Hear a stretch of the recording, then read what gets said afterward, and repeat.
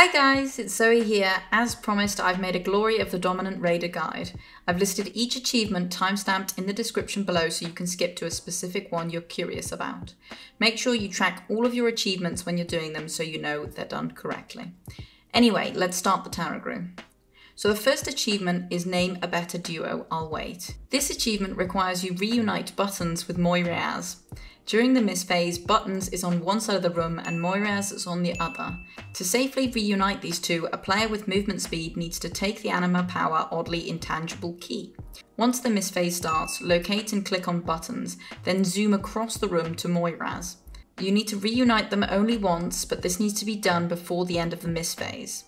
Most classes with some movement can make the run. Overall, this achievement is a pretty easy one to start on. The second achievement, I Wish You Were Here, requires you engage and push the eye to its final phase where it starts casting immediate extermination. Once you've entered this phase, a player needs to click on the camera bag here and take a picture of the entire raid group with the eye itself. Create a stack marker for the last phase and have a capable player pick up and photograph the raid. Don't worry if you don't get everyone, you can take multiple pictures just so long as everyone has been photographed during the last phase and has the buff Photo Flash, you should receive your achievement. Don't take too long or the beam will hit you. The next achievement to the 9s requires a lot of organisation.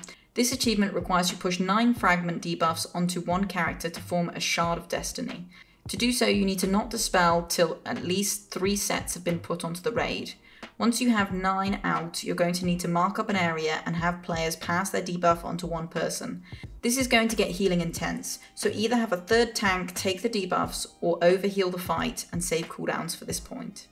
The fourth, Tormentor's Tango, is pretty easy. The whole raid needs to type slash taunt while targeting Garrosh in chains at the top up there. Once you've done that, you receive a debuff slumming your movement by 20%. During the encounter, make sure every single player avoids being hit by Torment or you all fail the achievement. To make this easy, just ensure you're calling lanes on Discord and have readily available speed buffs like Roar and Windrush for the dance phase.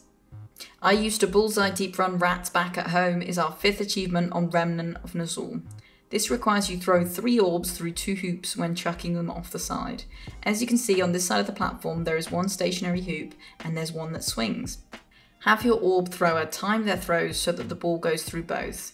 You know when you've done it correctly as you'll get a message in the chat. Don't rush the DPS on this boss, but you'll have plenty of opportunities to dunk through the fight, so don't fret if you miss a shot or two. Sixth achievement, Whack a Soul, requires you pull a lever on the left just before Painsmith Raznal here. Now, throughout the encounter, mobs spawn called Burning Gibbets. They must not get their terrifying shriek cast off, so kick and or nuke them down. They spawn in sets of two around the platform. With moderate gear, this achievement becomes really easy.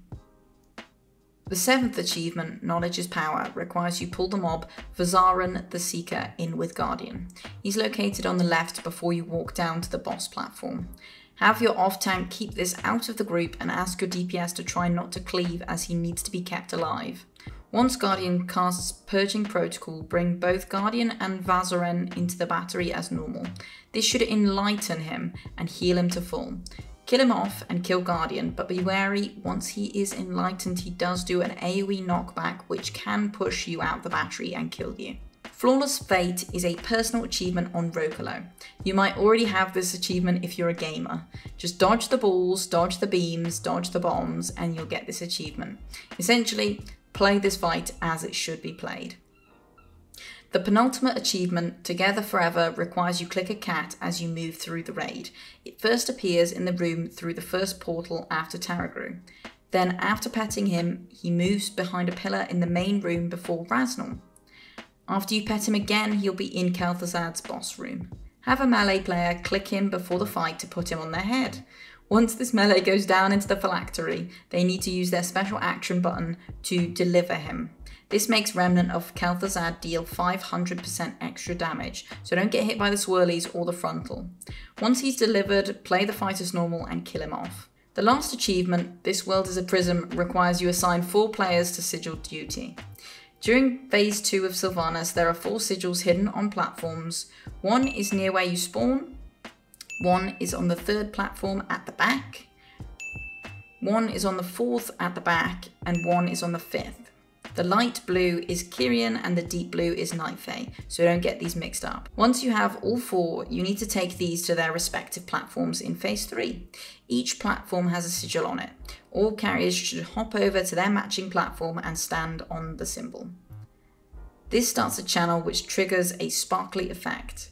Once this has been done, you can kill the boss as normal. These achievements weren't very difficult, so in a 10 man group, everyone should be able to do them. Now you can enjoy your new hand mount. If you found this guide helpful, don't forget to like and subscribe, it really helps me out. I'll be bringing out more mount guides, news, and fun videos soon. I enjoy reading all your comments, feel free to give me video suggestions. Take care, guys.